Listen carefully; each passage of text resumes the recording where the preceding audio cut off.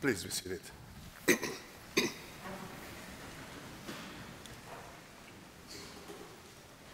While they were talking and discussing, Jesus himself came near and went with them. But their eyes were kept from recognizing him. Can you imagine walking along the street on your way home or on your way to work or on your way to the park, involved in your thoughts, possible worries, and suddenly, as you walk, Jesus start walking by your side and having a conversation with you. Or imagine that Jesus suddenly gets on the same bus, train, or plane, like any other passengers, and sits next to you and start interacting with you. I wonder, would you recognize him? I wonder what your reaction would be if you knew that it was Jesus. Would you recognize him? To be honest, at first instance, I will tell you that probably it will be very difficult for me to recognize him. In the gospel that we just heard today, we see that the appearance of Jesus to the two disciples happened on the same day that Jesus rose from the dead. These two disciples were going to Emmaus. Uh, the Greek pronunciation should be Emmaus, depends what you pronounce, but I'm trying to do Emmaus, to the close to the English pronunciation. So these two disciples were going to Emmaus, and aside from the basic facts, we don't know anything about them. The only thing we know in this gospel is that these two disciples were probably still sad, very sad, without hope talking and discussing the terrible things that happened in Jerusalem. Probably discussing the horrible death that Jesus, their leader and teacher, had just suffered three days before. And the interesting thing here is that we don't know the reason why the disciples were going to Emmaus. We don't know that. Luke, the gospel writer, does not say why they were going there. They may have been going home, going there to rest, or just going there to get away from the terrible things that they witnessed in Jerusalem. We will never know. And today, even if the scriptures tell us that Emmaus was 60 stadia from Jerusalem, which is a Roman measure equivalent to seven miles of distance, there is no consensus of the exact location of Emmaus. No consensus. So,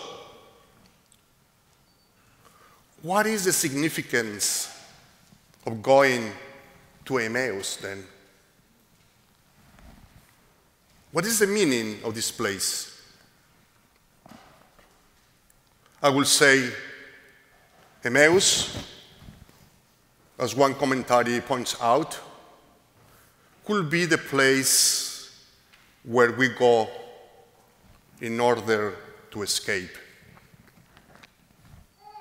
The place we go to get away. Emmaus could be the place where we go when we are so tired, and the place we go when we have lost hope. The place we go when we are in the state of uncertainty and doubt.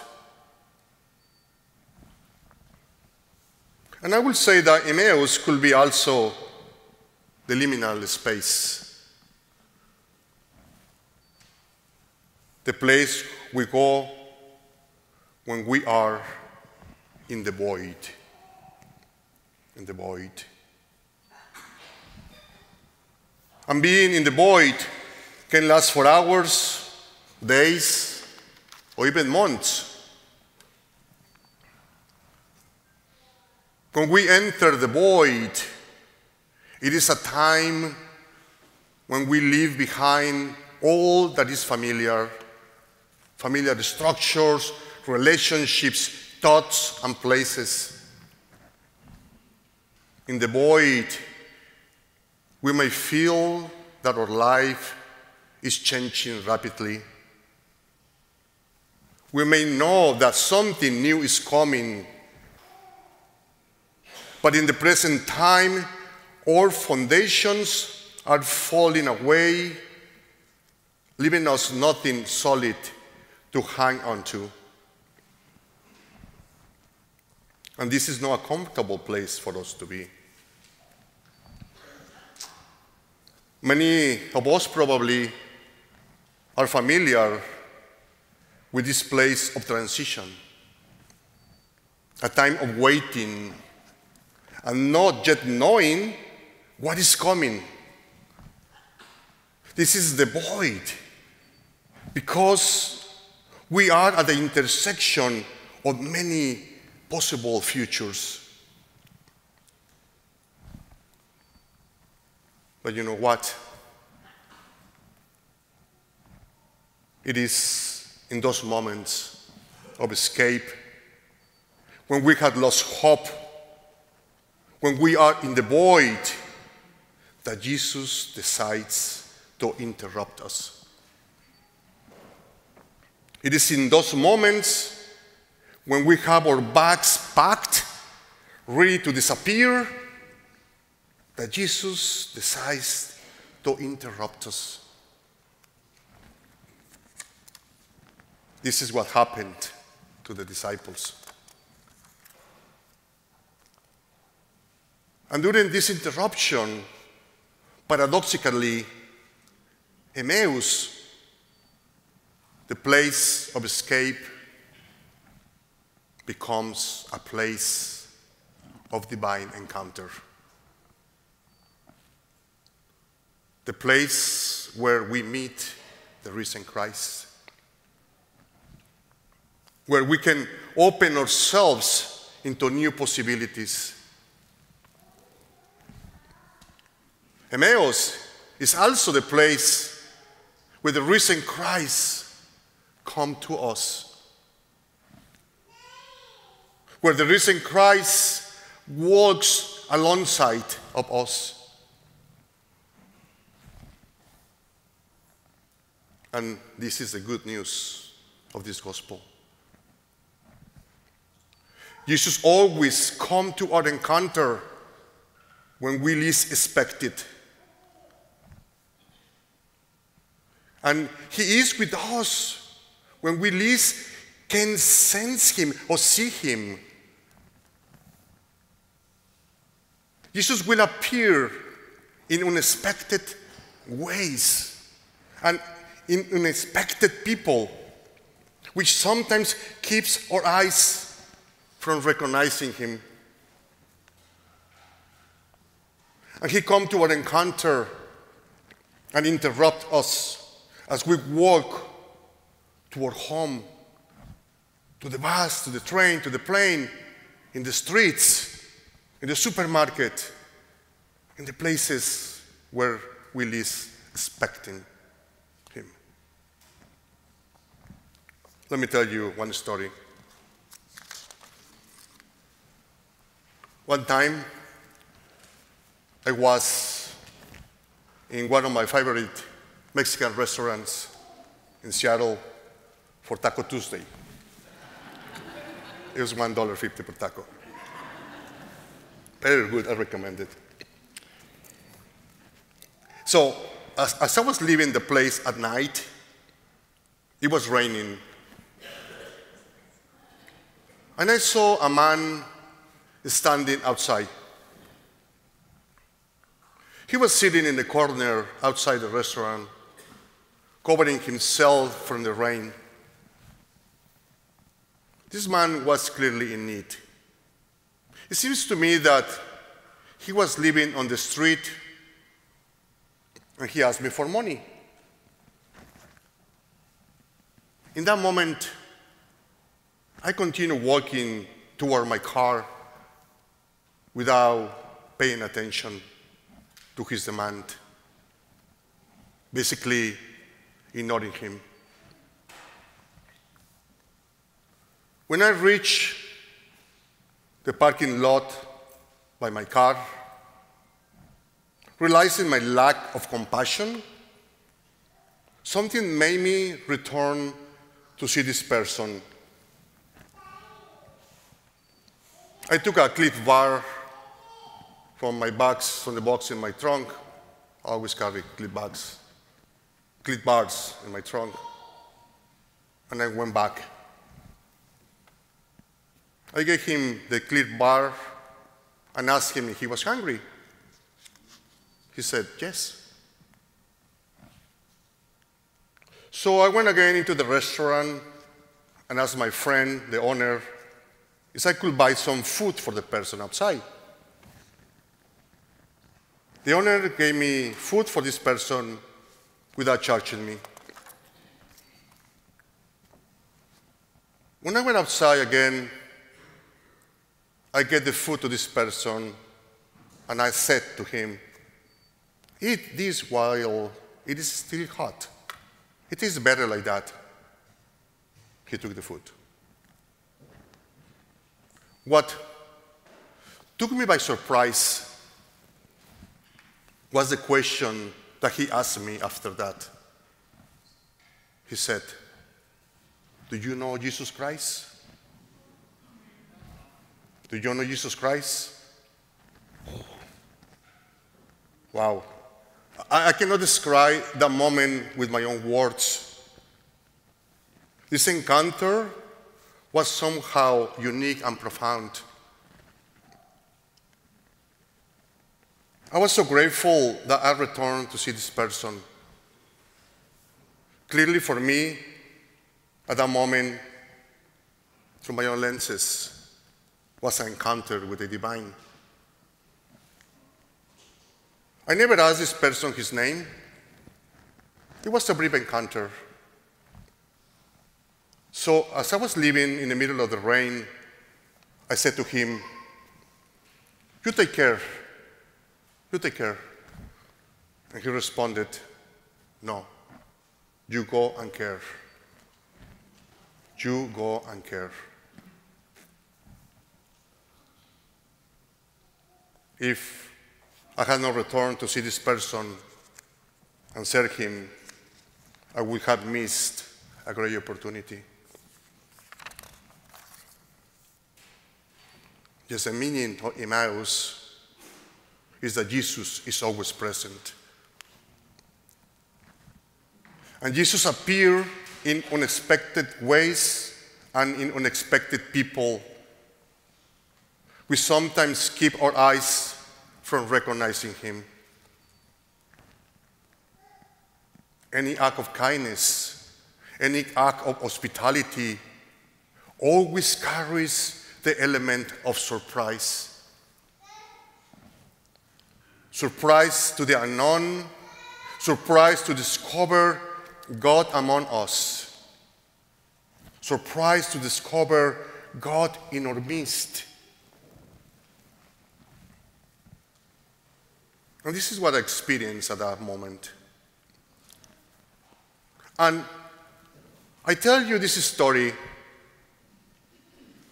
because the experience of the presence of God is not a private reward. It is not only for ourselves, it is never for us alone. It is for us to share. It's for us to share. This is what the two disciples of Emmaus did after their encounter. They went and shared with the other disciples their encounter with the risen Christ. The same happened to Mary Magdalene after her encounter in the garden. She went and shared her experience with the risen Christ with the other disciples.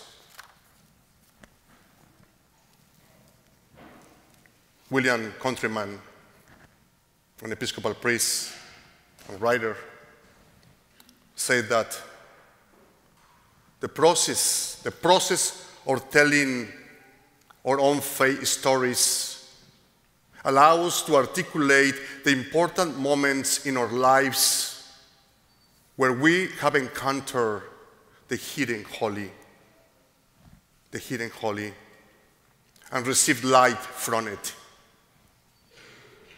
Because there is no human experiences or stories that had not been touched by God.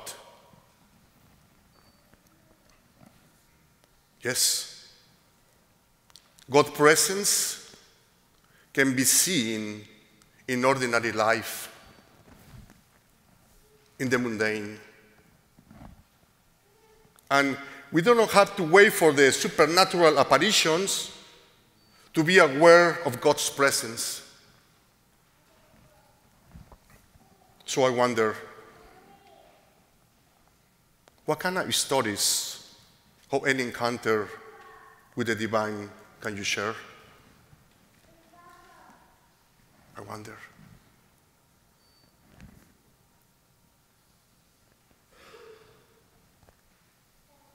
If you do not remember any story at this time, you can create one. It's easy, really. It only requires your awareness. It only requires to be aware. So I wonder again, what is happening around you at this time? Is there an encounter that you're missing? Is there an encounter that you fail to see?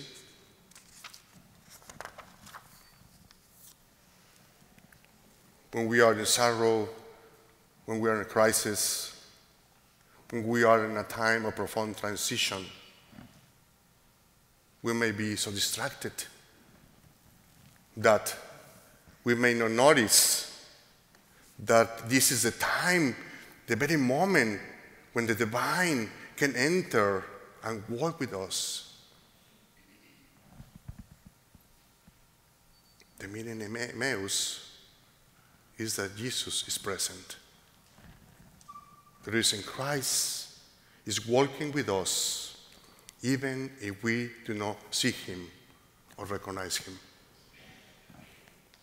So, my prayer for today is that with God's help, we can be able to recognize that the divine is always at our side. That the resurrected Christ is always walking with and among us. This is the good news that this gospel proclaims. Amen.